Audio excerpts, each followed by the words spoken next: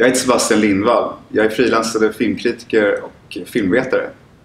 I år firar Goethe-institutet 50 år i Sverige och det firas med en retrospektiv filmserie där några smalare pärlor av Tysklands mest berömda regissörer tagits fram.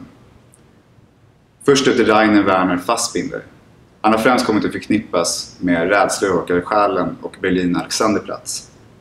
Men för kvällens visning vrids klockan ända bak till 1969 det var året då han långfilmsdebuterade med Kärlek kallare än döden. Och även han följer upp med sin andra långfilm, Katzenmacher, den som ni ska få se.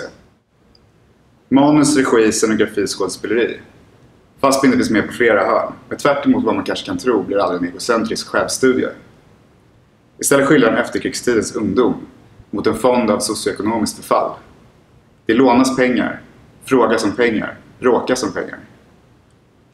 Pengar är ständiga samtalsämnet för de rotlösa ungdomarna. Som tvingas inse att livet kostar och de troligtvis aldrig kommer ha råd att betala priset. I de kyliga kärleksscenerna ser vi stelnade kroppar i frusna positioner.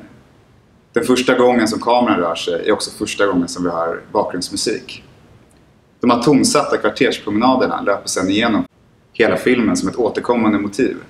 En slags idyllisk fantasi och verklighetsflykt Halvvägs in i filmen hästar dock verkligheten på i form av Fassbinder själv, i rollen som en grekisk gästarbetare.